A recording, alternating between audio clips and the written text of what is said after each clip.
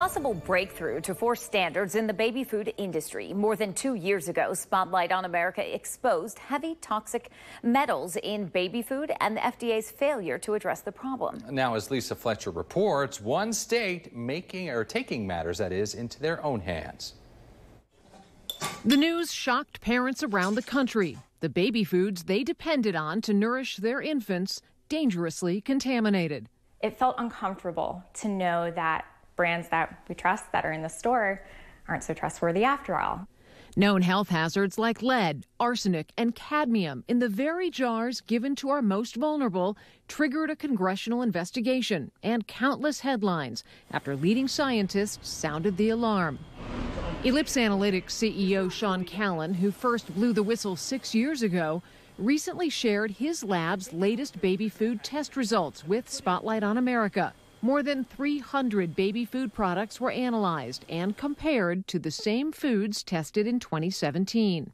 Between 2017 and 2023, the proportion of the category that we are able to detect heavy metals remains the same. Basically, the same percentage of baby foods contaminated in 2017 are still contaminated today. Roughly 20% have what Callan says would be considered high levels of lead. But it's not all bad news. Callan says tests show a good portion of manufacturers have made modest improvements. The worst products are still just about as bad as they were before, but everybody else seems to be trending in the right direction. And it'll be really exciting to see how this new law impacts that.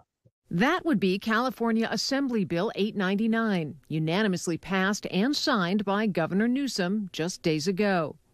It is the first major law to set strict standards for baby foods.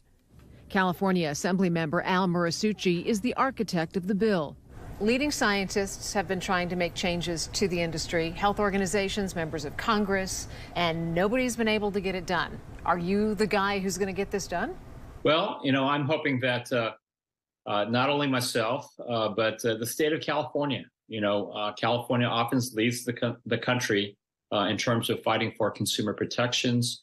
Starting in January, baby food makers will be required to test a representative sample of their products for toxic elements once a month, and by 2025, disclose those results.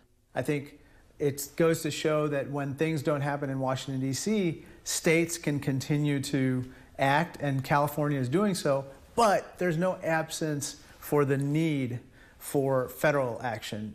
Something U.S. Representative Raja Krishnamoorthi has been pushing for since 2021, when he led a subcommittee investigation that exposed stunning problems in the baby food industry and anemic action by the FDA. We have to make sure that at the federal level we do what it takes to provide uniform standards throughout the country.